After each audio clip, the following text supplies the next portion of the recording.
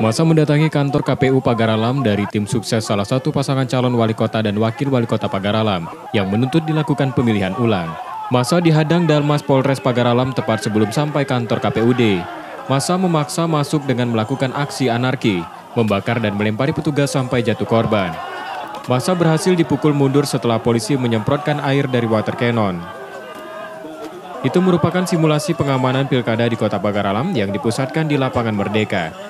Simulasi untuk kesiapan dari pengamanan pilkada yang prosesnya sudah dimulai. Kita sudah hari Senin kita sudah memasuki tahapan pendaftaran para calon hari Senin sampai dengan tanggal 10. Oleh sebab itu, Perintah Kapolri secara serentak seluruh Indonesia pada hari Jumat pukul 13.30 seluruh jajaran melaksanakan apel gelar pasukan dalam rangka operasi Mantap Raja tahun 2018 dalam rangka kesiapan untuk mengamankan pemilu kada tahun 2018. Polres Pagaralam berkomitmen akan menjaga proses pilkada secara profesional sehingga pesta demokrasi itu dapat berjalan baik dan aman.